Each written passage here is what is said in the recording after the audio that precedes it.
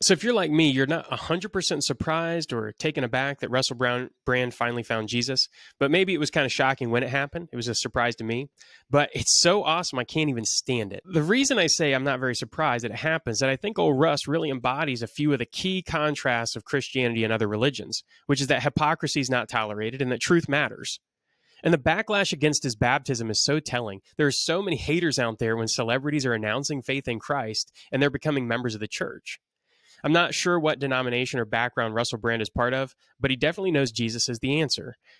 The one thing I wasn't expecting was a comment from his video announcing his baptism to really get me spun up. The comment was just just remember Christianity isn't a religion, it's a relationship with Christ. So I wanted to go through how that idea has been ruining Christianity and actually making people run from the faith. In fact, I'd say that Jesus gave us commands that pretty much all look like religion. So if you say you love Jesus, then you'll follow his commands, right? That's in John 14, 15. He commands us to do a lot of stuff, but it's also all conveniently boiled down to love God first with all your being and life and to love your neighbor as yourself. When asked the greatest commandment, that's what Jesus responds with. So, how do we know how to love God? How do we know how to define love? Well, that's easy too. God gave us his word.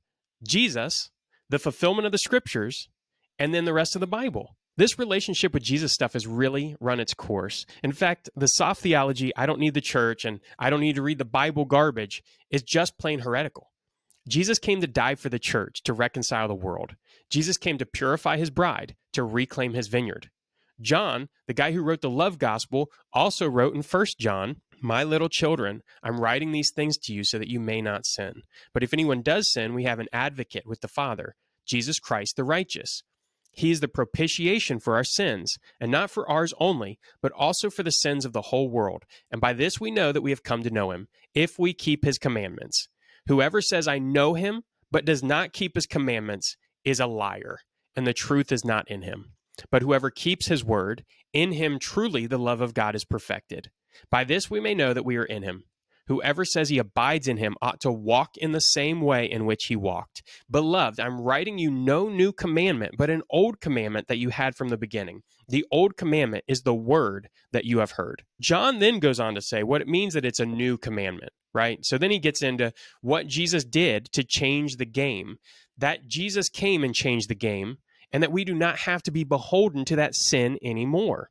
Jesus' death and resurrection changed everything except the law. I think it's hilarious that the same people who say the Trinity isn't in the Bible and that homosexuality isn't a sin also want to reduce Christianity Christianity down to a relationship with Jesus.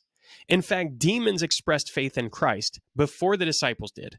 Having a relationship with someone is important, but not as important as the relationship you have with them. If you have a relationship with a friend and then all of a sudden he does something crazy like burn your house down, you still have a relationship with him. It's just not a very good one, right? In the same way, if we're in a relationship with Jesus, but we ignore what he told us to do, we're living a lie. We're living in the lie of our false hope. We're continuing on in our prideful sin. People that listen to Russell Brand are people who are tired of legacy media, big pharma, and military industrial complex.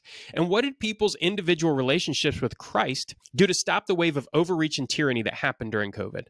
Nothing. Most believers folded like a cheap suit, went along with all the madness. Obviously, that included many churches. All those churches were saying it's okay to go along with a secular worldview on this. Just never give up your relationship with Jesus. Stay focused on the gospel. Except they did. Many abandoned the principles Jesus taught. They abandoned biblical principles. They offered the pinch of incense. And a gospel divorced from our everyday life is a false gospel. I would bet that part of what Russell Brand saw in Christ was a lordship over everything, truth worth worshiping, and love worth worshiping. Not just a friend, a savior. Christ is Lord of all. Christ is the answer, and our sin is that problem. We don't need a buddy Jesus figure like they roll out in that old 90s movie like Dogma. In fact, I think that's why people are turning to the Catholic Church, Orthodox Church, and Reformed Protestant churches and running from Big Eva and mainstream churches that don't have enough backbone to stand against the injustice and madness they see all around them. The churches that stayed open during COVID, the pastors that speak against the madness and goofiness all around us are growing. The winsome, weak sauce gospel churches that leave out the whole you're a sinner part or the God is wrathful part That false gospel doesn't change anything. It's more of the same therapeutic, self centered garbage that got us here in the first place. No one wants that squishy, ineffectual faith that's about affirming people anymore. Why? Because it's madness and directly contradictory to how God commands us to live. No one wants to attend a church that's taking a nuanced approach to abortion or mutilating children. That's worshiping in the courtyard of Moloch, not worshiping the living triune God of the Bible. Jesus commands us to be salt and light, to follow God's commands, not hypocritically, but in all areas of our lives. Matthew 5, 13 through 16. He calls us to build up true communities and true fellowship with God who are willing to stand and pray to God the Father when society tells them to bow to secular culture and democracy. Matthew 22, 34 through 40. Jesus commands us to not give in to lust. Who knew that would be so countercultural? Matthew 5, 27 through 30. Not get divorced. Matthew 5, 31 and 32 and I haven't even gotten to the other gospels. The fact is, culturally and nationally, we need repentance. Christians, we need to lead the way in that repentance, not wait for the heathen nations to stop vainly raging. We need to take responsibility for our nation and our churches and repent. Jesus tells us how to have a relationship with Him, and He came to put us in right relationship with God the Father in truth. So let's drop all the mamby pamby relationship stuff and live like we believe God is in heaven, that we are all sinners, and that we believe that Christ is Lord of all.